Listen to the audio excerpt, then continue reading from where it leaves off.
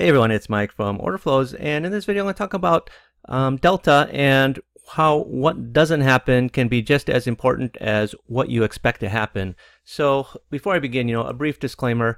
Um, this presentation is for educational and informational purposes only. You know, trading involves risk. Don't trade with money you can't afford to risk. Now, the software I use in this video is the Order Flows Trader from orderflows.com. It runs on NinjaTrader 8, and yes, it is the software that I sell. But you know, this video can be applied. What you're going to learn in here can be applied if you're using any other footprint chart. I think mine is the best though. All right, so what I want to talk about is something that, you know, I get asked quite a bit from traders is, you know, Mike, you say delta, when delta is positive, markets generally rise. When markets negative, delta is negative, markets generally sell off. Why do you say generally? Isn't it always, right? If delta means you have aggressive positive delta means you have aggressive buyers shouldn't the market be rallying or you know if negative delta implies you have aggressive sellers in control. Shouldn't the markets be selling off? Well, you know, in trading, sometimes the things that don't happen that you expect to happen, let me rephrase that. Sometimes the things that don't happen as expected are just as important, if not more important, than what happens as you expect it. So what I mean by that is here's a market, here's crude oil, it's a five minute chart. And you can see we got the swing high up here at uh, 52.70 and the market is starting to sell off, right? We got four candles in here with positive delta as the market keeps trading lower. See positive 336, positive 82, positive 96, positive 558. And you're thinking, why are we going down? You know, we got positive delta. The market should be rallying. Aggressive buyers are in control. Now, you know, in, in one of my previous videos, when I talk about delta, I said generally. Well, the question is, you're going to, people will say is, you know, why is this market going down? Why do I get red candles with positive delta? Well, the reason why is because early on in the candles, generally you have strong passive sellers that the aggressive buyers were buying from. All right, you see up here 110 uh, 192. You see the offer side is, is obviously heavier than the bid side, right? That's why you got positive delta. 96, same thing. The, the here you got a big seller in here, 611. That just stands out, you know, 346, 298. You know, these are strong volumes. But the one that really sticks out is this 305 right here, this buying imbalance. You know, you got positive delta of 558. Obviously, this 305 contributed quite a lot to it. But what is causing this is you have passive sellers, right? You know, we tend to think only in what's the aggressor doing in the market? You know, people that are buying the offer or selling the bid, you know, those are the aggressive traders.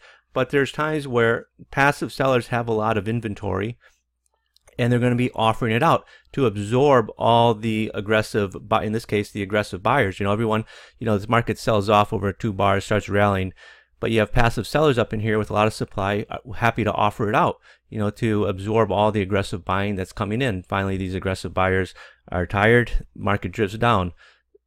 Market drifts down. You see the aggressive sellers or sorry the um, passive sellers in here offering it out for the aggressive buyers. You know the aggressive buyers can only buy so much before you know they got no more bullets left but you know the the big sellers, right, the ones that are going to put their put a cap on the market, put their foot on the neck of the market, are offering it out, right? They're going to offer it down.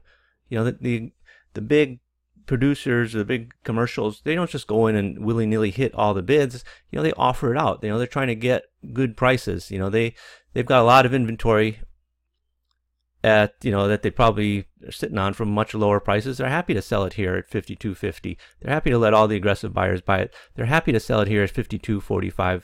You know, they don't have to go in and whack it all the way down. You know, their view is, is so long term that you know they're not so price sensitive as opposed to a short term trader that you know is probably you know trading you know within 15 20 ticks of where we are right now you know, these guys, their entry could be, you know, $5 away, $10 away.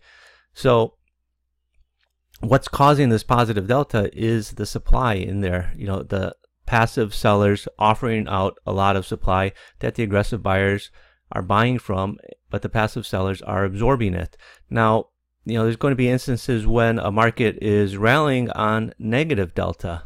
Um, where was it here? So I think it was around one yeah, here 120, right? You got a couple red bars, right? Negative delta, yet the market's going higher. Mike, what's going on? You know, red bars, the market should be trading lower.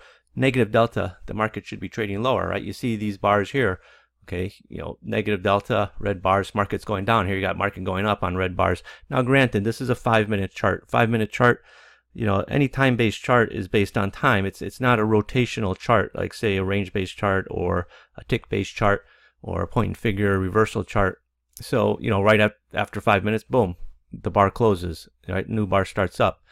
But what's happening in here? Right, you got negative delta 67, negative delta 93. This time you have passive buyers. You know, people happy to um, work bids to support the market. Right? You can see here, this 304 is probably what kicked off this positive delta of, or sorry, this negative delta of 67. There was a strong bidder here to absorb all the selling that was coming in. You know, as this market start rallying up, someone's bidding it. You know, people are hitting this bid. This guy's happy to sit here. You know, boom. You know, bar closes, start trading higher. You got more passive buyers. Look at the the bid side versus the offer side. You know, just roughly. You know, 106 against 99, 147 against 111, 206 against 176, 139 against 102. It's a little hard to see there. Let me open it up. Um, but you can see all the volume, majority what's on the bid side, 320 versus 225, 188, 157, 139, 102. You know, at each price level, you have stronger um, supportive buying than resistant selling. You know, passive buyers here are more holding up this market. I don't want to say um, driving this market. But you know they're bidding here. They're happy to bid here at these prices and let the aggressive sellers sell into them. That's why you got the negative delta, right? Finally, these sellers are just tired. You know the the aggressive sellers got no more bullets in their gun, so to speak. And then what happens to the market? Well, just just just down, and then boom. You know the aggressive buyers you can see here. Um, you know I don't know if these passive buyers got aggressive all of a sudden start lifting these offers. You can see it's very thinly traded in here.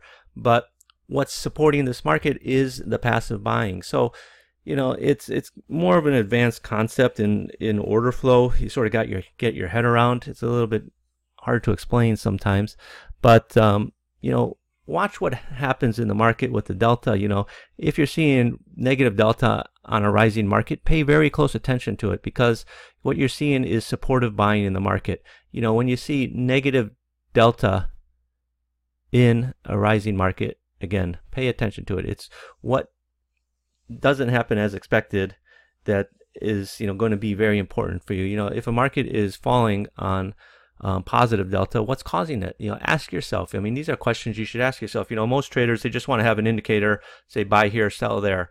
You know, that's you know that's not trading. That's just following, um, you know, something else. You know, as a trader, you know, you're going to get your best trades by analyzing the market and saying, aha, yes, I understand what's going on. I understand why this market is rallying now on negative delta because I have supportive buying.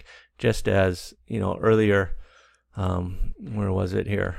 You know, why this market is selling off. You know, if I see this big imbalance up here, big positive delta on a red candle, you notice even the next bar, where we do, we rallied up, right? This is a red candle, five minute chart. So this bar opened up here, rallied up. Where did it do? It rallied right up to that level. Couldn't get past that level. Again, that's a nice bearish sign. What did the market do? Boom. It reacted, came off, closed a little bit lower. Next bar doesn't even get anywhere close up here um, and then just sold off. You know, this was a nice move from basically 52, uh, 34, you know, basically down to 52 bucks. You know, there's a nice 20 cents to be had out of that, out of that move. So again, you know, thanks for watching this video. If you're interested in my software, obviously just go to my website. So anyway, have a great day, everyone. Bye bye.